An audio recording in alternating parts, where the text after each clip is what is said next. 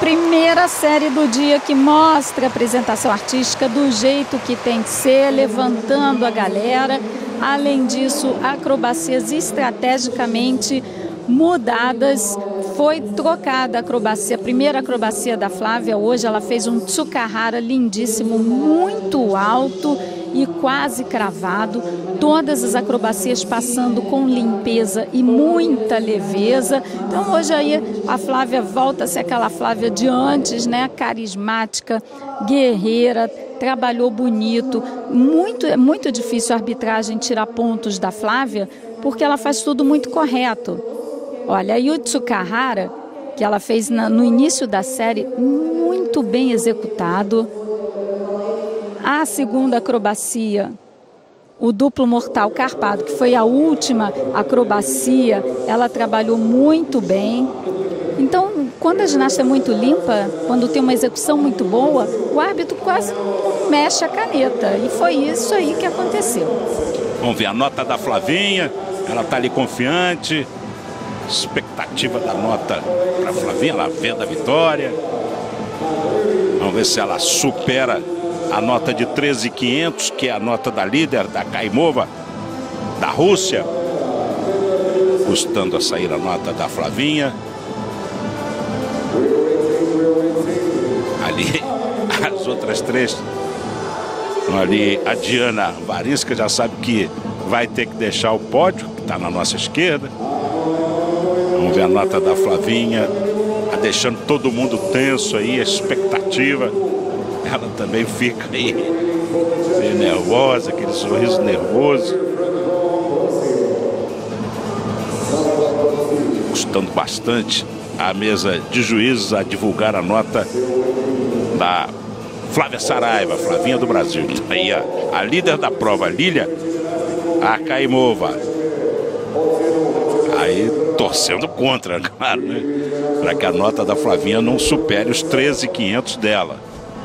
Vai ser apertado, Paulo. Vamos ver.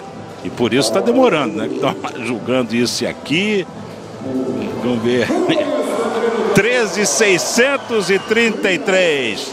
Está aí, portanto, a Flávia na liderança, já garantindo medalha para o Brasil. E tem a Thaís, né? Que é a última a competir. Aí a Flavinha sentando aí como rainha no solo. Bela o ouro já nota. é nosso, né? O ouro já é nosso. É, é uma bela nota. É, o ouro já é nosso. Merecido. A Flávia acho que correspondeu para receber essa nota. Aí a Thaís, última atleta no solo, pode pegar aí mais uma medalha para o Brasil. Vamos torcer.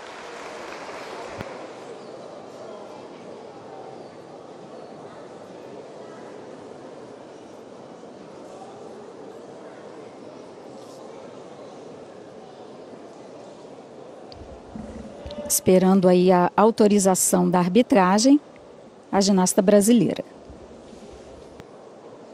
Thaís, que é a vice-líder nas eliminatórias, atrás apenas da Flávia Saraiva. Uma boa apresentação, pode ser que tenha outra dobradinha do Brasil para hoje. Vamos acompanhar.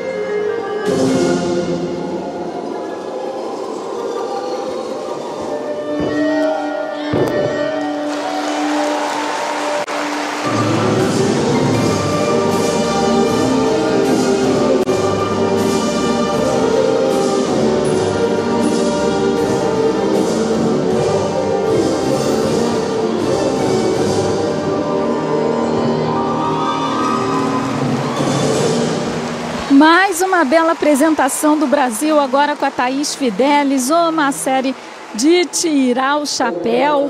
Como já foi anunciado aqui antes, o ouro já é do Brasil, agora é só saber quem vai ficar com essa medalha. As duas brasileiras passaram bonito, a arbitragem ali atenta, porque elas sabem como é importante fazer a diferença entre várias ginastas que se apresentaram bem, como foi o caso da russa e das duas brasileiras.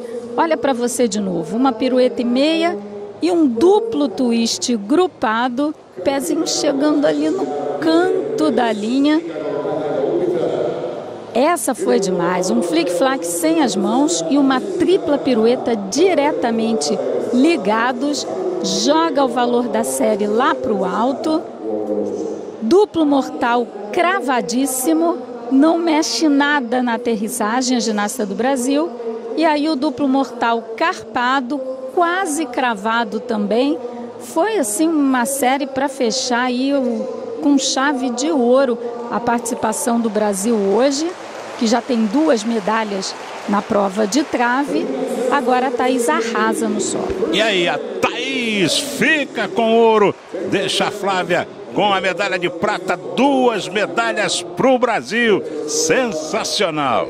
Bota sensacional nisso. A Thaís que está chegando agora na categoria adulta, ela sai do juvenil já para uma aparição em etapas de Copa do Mundo, já conquistando várias medalhas. Etapa de Copa do Mundo passada ela medalhou, nessa agora ela conquista o ouro, consagrando aí um trabalho de longos anos essa ginasta tão jovem e tão promissora, com uma série tão difícil, muito bem executada. Ela e a Flávia hoje foram assim demais.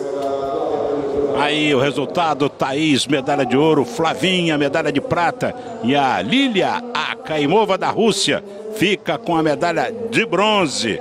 Espetacular. A